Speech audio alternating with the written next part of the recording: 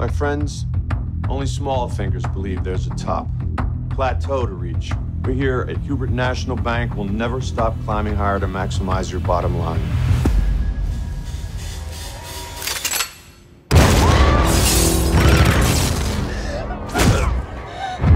Do not be a hero. We're here for the bank's money, not yours.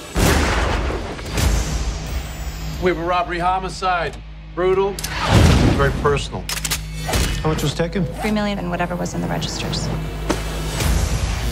You seem to have some kind of relationship with the man who was killed there. Trying to stay out of it. Alexander Hubert, the younger brother of Jeffrey Hubert, was held for ransom in 2011. Kidnapping went south. Alexander Hubert died. Now we have another attempt to get Hubert's money. How often do you think the owner of a bank visits his branches? I mean the man at the very top. He visits ours a lot.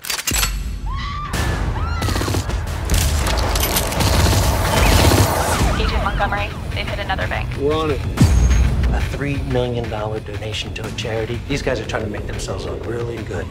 Are you suggesting that these guys are doing the right thing by leading me to a bigger fish? Safety deposit boxes where people keep their dirt. Now, why did he hold on to something so incriminating? Seven of 16 representatives have accounts at Hubert's branch.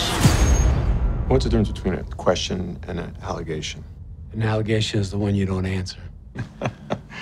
Yeah.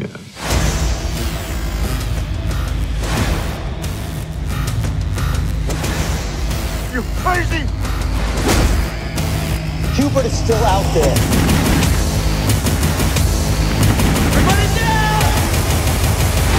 Not everybody needs a gun to get things done.